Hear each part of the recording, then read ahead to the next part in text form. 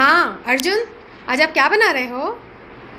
आज हम बनाने जा रहे हैं मलाई पिज्जा वेरी गुड उसके लिए आपको क्या क्या चाहिए? ब्रेड हाँ आपके लिए उसके लिए आपको क्या क्या चाहिए? मलाई ब्रेड और शुगर ओके पहले हम एक ब्रेड लेंगे। वेरी गुड मलाई डालेंगे। हम्म. थोड़ी शुगर डालेंगे। ओके फिर फिर हम खाएँगे शाम से मलाई शान से मलाई?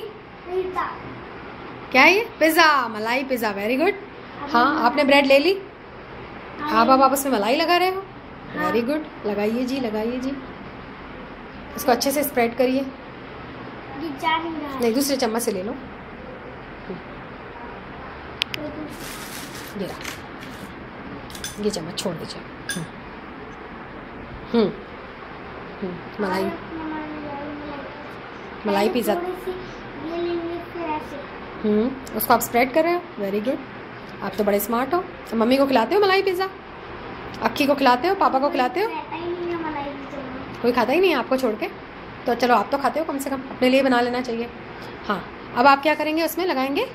शुगर हम्म, अभी नहीं। हम्म, थोड़ा भी फैलना है। ओके। अब हम डालने वाले शुगर हाँ चम्मच से उठा लो। चम्मच से चम्मच से। हाँ ठीक है हाथ से। Hmm hmm. वेरी गुड आपने शुगर स्प्रेड कर दी?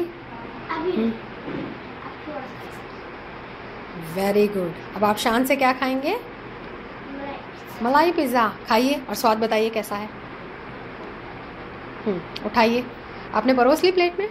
टिंग टोंग। हम्म। मैं खाऊँगी। हाँ लेकिन आप टेस्ट करके बताइए कैसी है फिर मैं खा लेती हूँ। हम्म। मैं देखना चाहती हूँ आपको कैसा लग रहा है टेस्ट में। मेरी तरफ़ देखिए और खाइए। वेरी गुड हम्म हम्म देखूँ आपका कैसा स्वाद आ रहा है।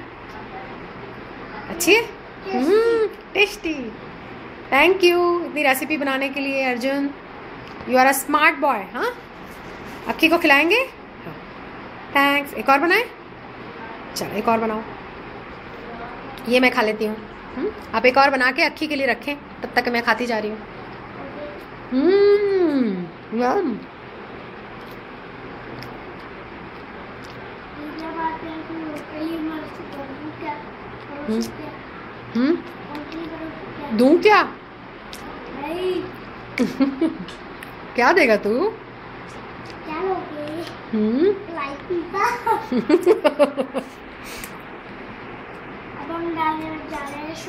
हम्म। हैं हम्म। पूरे साइड पूरी तरह से स्प्रेड हो जानी चाहिए है ना? तभी अच्छा मलाई पिज़्ज़ा बनता है। हम्म यम मज़ा आ गया। तो देखकर ही खाने की इच्छा हो रही है। हम्म।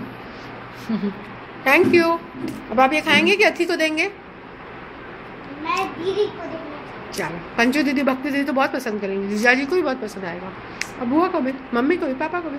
थैंक्स स्माइल करिए। Thank you